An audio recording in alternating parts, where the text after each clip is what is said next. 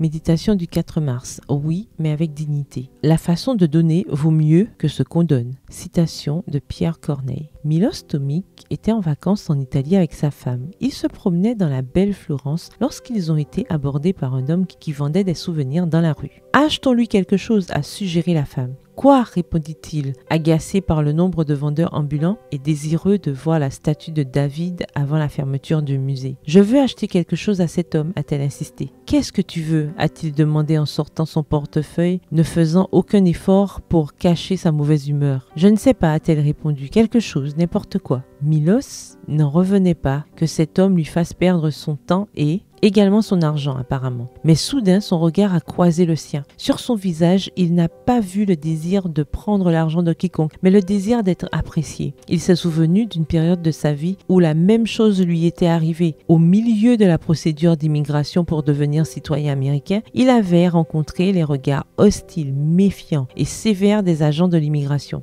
Seulement cette fois, le regard hostile, méfiant et sévère était le sien qui se heurtait au regard de quelqu'un qui essayait simplement de gagner sa vie. Embarrassé, il a décidé d'acheter quelques souvenirs. Continuant leur chemin, Milos a demandé à sa femme pourquoi ne pas lui avoir simplement donné de l'argent? Il n'était pas nécessaire de lui acheter quelque chose, parce que la charité doit être pratiquée avec dignité a dit sa femme. La charité et tout le reste, je dis. La dignité de l'autre est une réalité que, comme un filtre, nous devons toujours appliquer à la personne en face de nous, quelle qu'elle soit. La charité est un devoir, mais le choix de la forme est un droit, a dit l'écrivaine Concepción Arenal. Et je suis d'accord. C'est un devoir pour la femme chrétienne, car la Bible est claire et catégorique à ce sujet, dans l'Ancien Testament, voire Deutéronome 15, verset 8, Ésaïe 58, et dans le Nouveau Testament également, voir Matthieu 5, le verset 42, Matthieu 6, les versets 1 à 4, et Luc 11, le verset 41. La forme